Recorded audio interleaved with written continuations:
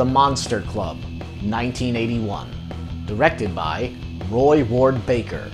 Starring Vincent Price, John Carradine, and Donald Pleasence. A vampire takes a horror writer to a club full of supernatural creatures, where he recounts three tales of terror over the course of the evening.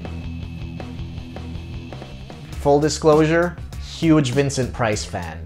The man is a horror icon. He chews the scenery in every movie he's in.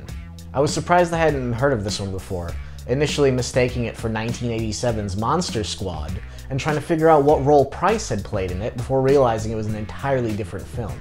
Being an anthology film, they ran a couple of risks.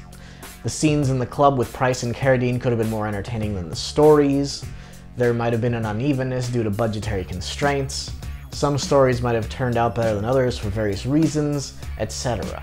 Miraculously, the film presents the entire thing in a consistently entertaining fashion, flawlessly balancing a wonderfully eerie atmosphere with moments of tongue-in-cheek humor. The makeup effects honestly aren't that spectacular, with no story demanding too much for the actors, and the large numbers of the club patrons seeming to be wearing little more than unconvincing monster masks.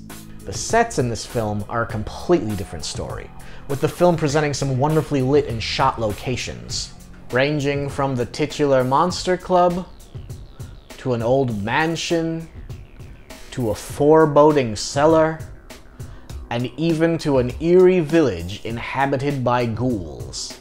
Price's vampiric character gives off heavy horror host vibes, giving the entire film the feeling of a Saturday night double feature with Elvira or Svengoolie.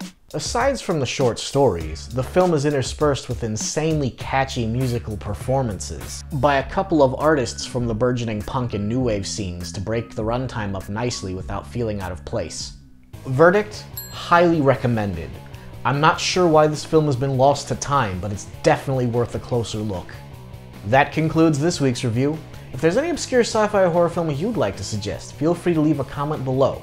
Make sure to tune in next week for another thrilling low-budget venture.